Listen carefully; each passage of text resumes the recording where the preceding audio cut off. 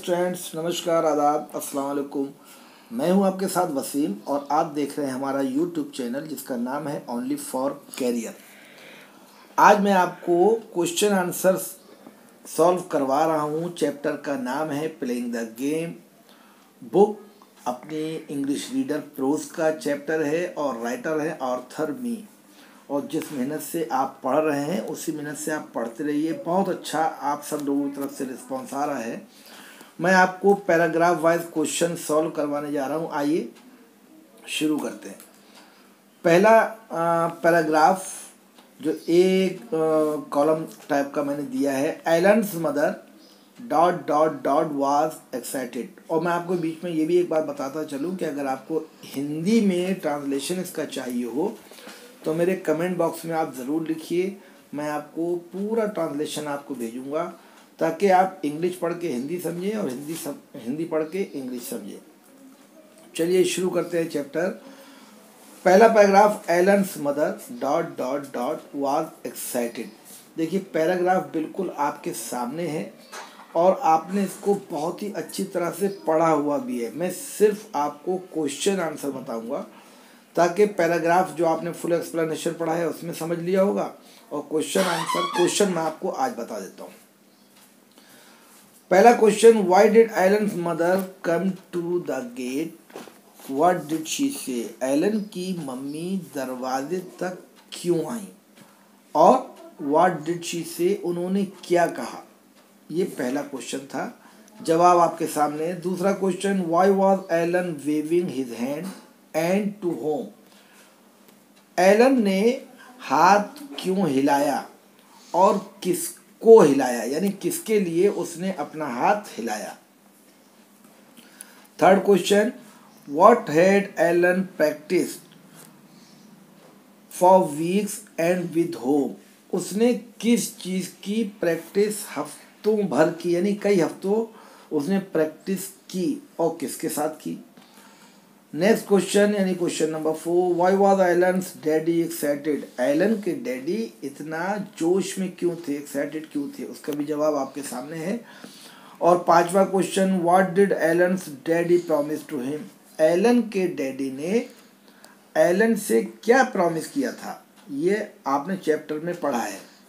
जवाब भी आपके सामने है। चलिए बी पैराग्राफ देखते हैं on his way dot dot dot half way up the road पूरा पैराग्राफ आपके सामने है, मैंने पूरा चैप्टर आपको पढ़ाया है। अगर कोई प्रॉब्लम आए तो मेरा चैप्टर फिर से आप पढ़िए। खाली आपको सुनना है, सुनते रहिए और देखते रहिए, पूरा चैप्टर समझ में आ जाएगा। पहला क्वेश्चन है what did Alan see on the way to the playground Alan ने रास्ते में जब प्ले ग्राउंड यानी मैदान की तरफ़ जब वो जा रहा था तो वो रास्ते में क्या देखता है? यानी किससे मिलता है? Question number two what was Alan's reaction when he was called by the old man जब उन बुज़ुर्ग ने या उस बूढ़े व्यक्ति ने जब एलन को बुलाया तो एलन ने क्या रिएक्शन दिया? यानी किस तरह का उनके साथ बिहेव किया? क्वेश्चन नंबर थर्ड देखिए what did the old man say to Alan and why उस बूढ़े आदमी ने, उन बुज़ुर्ग ने, एलन से क्या कहा? Alan and why. नेक्स्ट देखिए। How was Alan planning to come compensate the time which he had lost for the old man Alan क्या प्लानिंग कर रहा था? जब वो उन बुज़ुर्ग को सहारा दे रहा था और उनके बीच में जो उसका टाइम जा रहा था तो उस टाइम को रिकवर करने के लिए एलन क्या प्लानिंग कर रहा था? क्वेश्चन नंबर फाइव देखिए। What did the old man do like a baby उन बुज़ुर्ग ने क्या किया? एक बेबी की तरह उन्होंने एलन के साथ में क्या किया? Six question how did the old man walk वो बुज़ुर्ग किस तरह से चले? यानी जब वो चल रहे थे, एलन के साथ में किस तरह से चल रहे थे? चलिए। Paragraph C Alan explain dot dot dot come that way soon पूरा पैराग्राफ आपके सामने क्वेश्चन आंसर देखिए। What did Alan explain to the old man Alan ने ओल्ड मैन, यानी उन बुज़ुर्ग को क्या एक्सप्लेन किया, यानी क्या कहा? सेकेंड क्वेश्चन है what did the old man answer in his thin and weak voice उन बुज़ुर्ग ने अपनी बहुत ही फटी हुई आवाज़ और पतली आवाज़ और धीरी आवाज़ से क्या जवाब दिया? उन्होंने क्या कहा? Question number third what was Alan thinking in his mind about the field and the captain.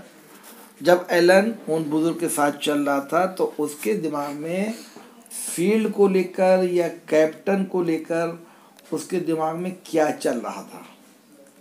Question number four what happened suddenly अचानक क्या हुआ?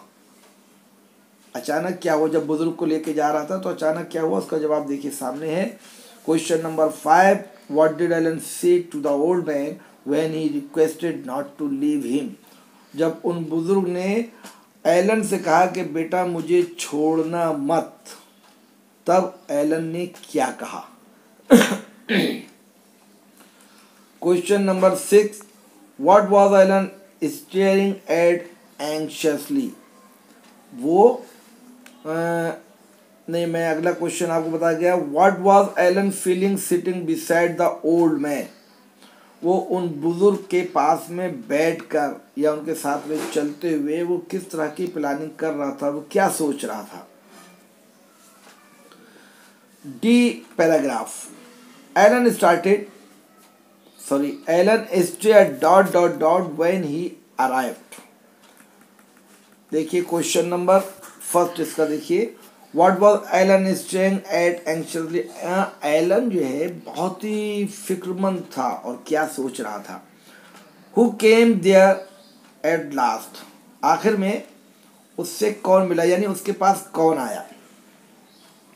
What did the policeman say to Alan Alan से पुलिसमैन ने क्या कहा? और question number four did Alan reach the sport ground in time क्या समय पर एलन स्पोर्ट्स ग्राउंड में पहुँच गया था। जवाब आपके सामने है E paragraph. Why it's Alan interrupted him why it's Alan dot dot dot interrupted him पहला क्वेश्चन देखिए, पैराग्राफ बिल्कुल आपके सामने है। Who was standing just inside the entrance entrance वो गेट जो होता है जिससे हम लोग एंट्री करते हैं, बिल्कुल गेट के बराबर में कौन खड़ा था? Second question who was playing in place of Alan and why Alan की जगह पर कौन खेल रहा था और क्यों? Question number three What did Alan do when he came to know that another player was playing in place of him Alan ने बेचारे ने क्या किया? जब उसको पता लगा कि उसकी जगह पर एक दूसरा प्लेयर खेल रहा है। Question number four when Alan return home how did his father react why did he pat on his son's back जब एलन घर पहुँचा तो उसके पिता ने कैसे रिएक्ट किया? यानी उसके साथ कैसे पेश आए? और उन्होंने उसकी पीठ को क्यों थपथपाया? यानी शाबाशी उसको क्यों दी?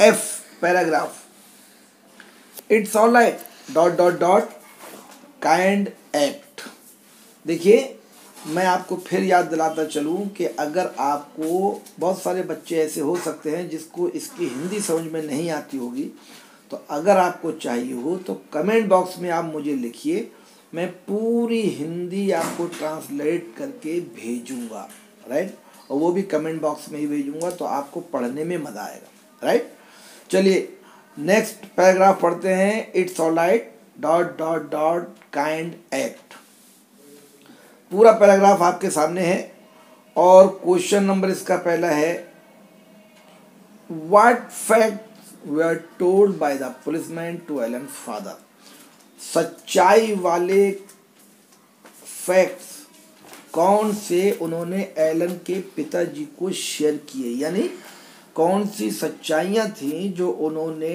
यानी उस पुलिसमैन ने एलन के पिताजी को बताई? Question number two what did Aaron's father mean? When he says, you were playing the game, although it wasn't on the cricket pitch. क्या मतलब था एलन के पिताजी के कहने का? कि तुम मैच ज़रूर खेल रहे थे, लेकिन मैदान में नहीं खेल रहे थे। यानी क्रिकेट पिच के ऊपर मैच नहीं खेल रहे थे, लेकिन मैच ज़रूर खेल रहे थे। और मैच जीत भी गए। Question number three why did Alan father go back to the market place वो वहाँ से मार्केट प्लेस यानी मार्केट क्यों गए? Question number four why did the school boys give Alan three loud cheese in the classroom classroom के अंदर उन्होंने, यानी बच्चों ने तीन बार क्लैपिंग करके उसको वेलकम क्यों किया? चलिए, इसका जवाब भी आपके पास में लॉन्ग आंसर टाइप क्वेश्चंस अब थोड़ा सा बड़े क्वेश्चन की तरफ़ आते हैं। पहला क्वेश्चन है what had Alan practice for and with home was his practice utilized उसने किसके साथ में प्रैक्टिस की थी और जो उसने प्रैक्टिस की थी, क्या वो अपनी प्रैक्टिस में कामयाब हुआ?